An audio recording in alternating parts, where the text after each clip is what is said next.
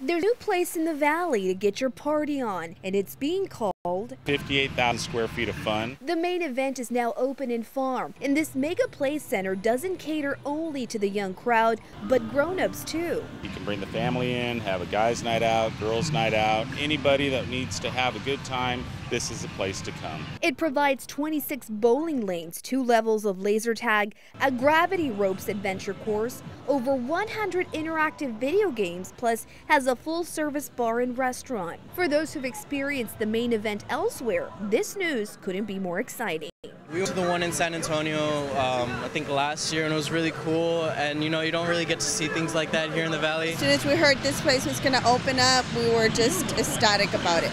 So naturally, I wanted to see firsthand what all the fuss was about. Trying out their helicopter 4D simulator game. Since I felt pretty good about myself for shooting my targets, I was given a little challenge. Complete a 60 second fun course in, well, 60 seconds, and the main event would donate $5,000 to the Girls and Boys Club of Pharr.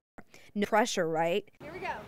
Well, anything for charity. The challenge began with knocking down some pins, taking a sip of a drink, shooting some air hockey, playing a couple of games, before taking a good bite out of some delicious pizza, and finally racking them up to hit the corner pocket. Mary, congratulations on completing the 60 second challenge. But their contributions to the valley didn't end there. The main event says they hope to help grow the economy in the region and in fact created 200 jobs hiring strictly local employees. As for some, they see this as an opportunity to keep kids busy. I love it. I love it. I think it'll keep a lot of these youngsters out of the streets also.